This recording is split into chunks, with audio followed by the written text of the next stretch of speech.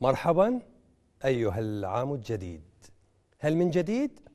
تحمله في طيات أيامك التي لم يطلع عليها سوى العليم الخبير. لقد قلبتنا الحياة كيفما تشتهي. أيها العام الجديد لا تجرح أحلامنا ولا تنسى على جسر أوجاعنا سكين جرحك الذي لا يندمل. سترحل غدا وسنبتسم عندما نتذكر لكننا لن نغفر لك قسوتك أيها العام الجديد ارفق بأحبتي.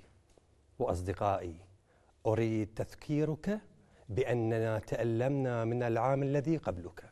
ولكن لولا الألم لما عرفنا قيمة الاستمتاع. لكن لا تكن قاسيا فتكسر أحلامنا.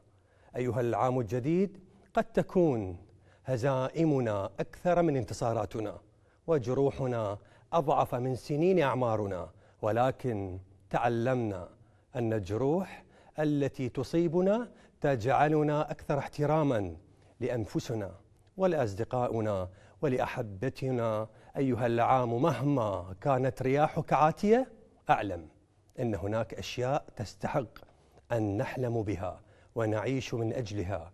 اليوم في حديث بغداد. سيكون عنوان الحلقة بالوفاء. ننتصر على الوباء.